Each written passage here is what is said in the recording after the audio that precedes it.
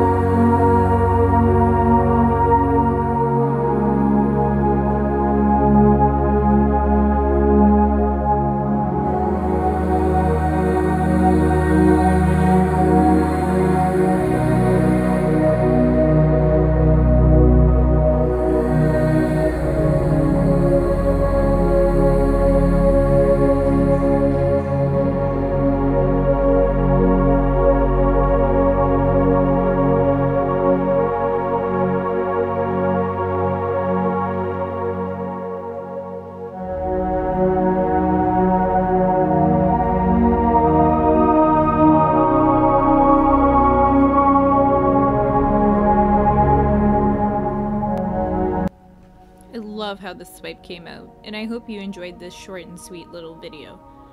I was originally going for like a watery look, but it didn't turn out that way. And the way the blues mixed ended up looking really nice regardless. Let me know what you think of this painting in the comments down below. Like this video if you like this video. Share with your friends to spread the love. Subscribe if you haven't already. And I will see you next time. Bye.